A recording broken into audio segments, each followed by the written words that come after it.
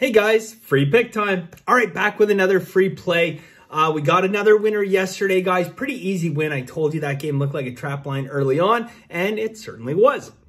We are now 89 wins and 52 losses on the year. Absolutely crushing it. Guys, I was this close to not doing a video today. Um, I consider myself a man of principles, and I said yesterday, let's get that video to 500 likes. We got 497. So um, I'm not going to be a stickler over three likes, but we got enough views to get it. So let's get today's video to 500 likes. Okay, hit that like button. I'll give you a second.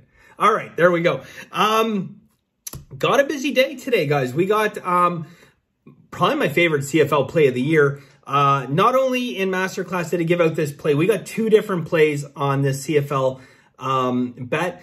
These particular uh, circumstances here, are going to indicator um, comes in at 73 and 81%. 73 and 81%. When do you see that in sports? You don't. Except for in the CFL, where Vegas line makers have no clue what they're doing. They're way off on this one, guys. Uh, CFL plays three WNBA, five Major League, pardon me, six Major League Baseball, and um, three player props as well. If you're interested, benderwins.com, guys. It's $99 a month, gets you my full card every single day. Um, I keep saying it, and people who have, haven't done it yet, cost yourself money because we're we're winning. So um, today, guys, uh, I'm going to do a breakdown of this play. I just want to say about yesterday's play. Look, I said, I came out I said Chicago, Cleveland, people in such a huge rush. Some people went and bet the Cubs game. Um, I said Chicago, Cleveland eight times. Okay. The difference between like professional amateur sports bettors, guys, professionals are going to take that information. Um, they're going to be calm. They're going to be collected. Amateur sports bettors, like literally they hear a word and they just run off and it's like, do it, right? And same thing when you're looking at like live lines and totals.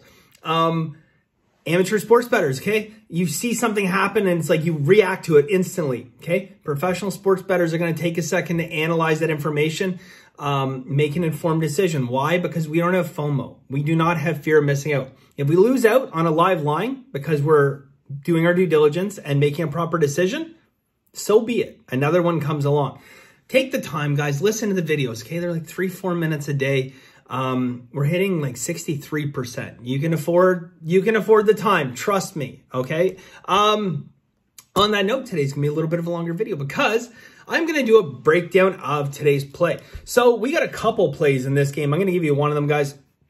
Um, Colorado, San Diego, over six first five innings, okay? First five innings over six.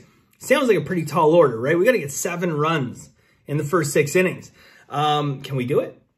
I think so. And here's why. All right, first and foremost, guys, let's talk hitting conditions here. Absolutely perfect hitting conditions here. Um, expectation, we should see about 14 to 16% increase in home run at Coors Field today. A decrease in strikeouts, about 5 6% increase in extra base hits anywhere from 13 to 17%, equating to about 14% more runs than usual. 14% is a significant, significant amount.